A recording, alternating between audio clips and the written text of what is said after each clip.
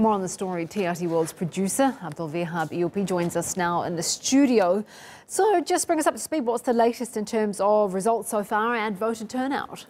Uh, well, so far uh, what we know is that the turnout was about 39%, uh, um, far from uh, reaching 50% needed to be valid the whole process.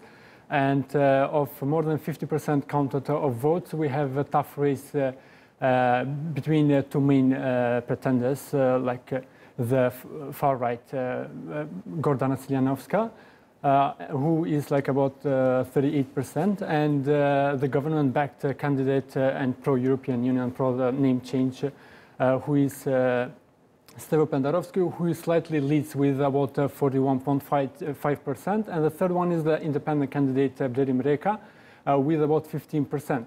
So uh, this uh, means that we will have uh, the second round after two weeks uh, between the first two candidates. And uh, the turnout needs to be 40% in, or in, order to uh, entire elec election to be valid.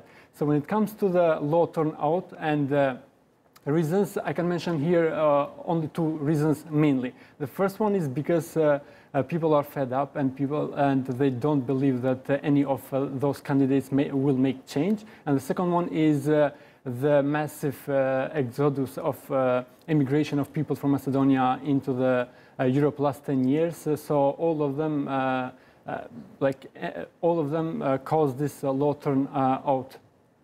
Okay, so another round of voting in two weeks then. Thank you for that. That is TRT World's producer Abdul Vihab Eopi.